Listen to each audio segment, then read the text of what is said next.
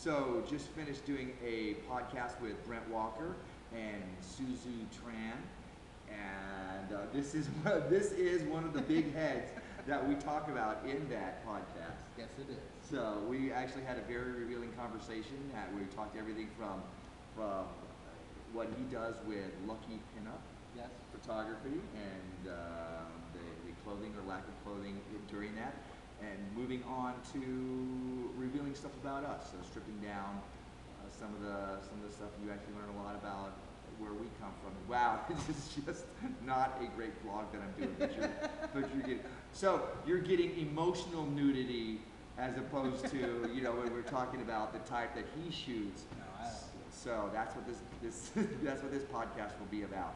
And it'll be up in a little while, and I'm sure you're going to enjoy it. Do you have anything you want to say? No, I had a great time uh, doing the podcast. That was a first for me, and I, I really, really had a good time. Yeah, it was a good time. It was a lot of uh, a lot of yucking and uh, and very informative. Yeah, I think we went through an hour and five minutes. Yeah, it was a long, it was a long podcast, so I hope you enjoy it. Anywho, I think that's about it. Welcome to my Mordant World. Sayonara.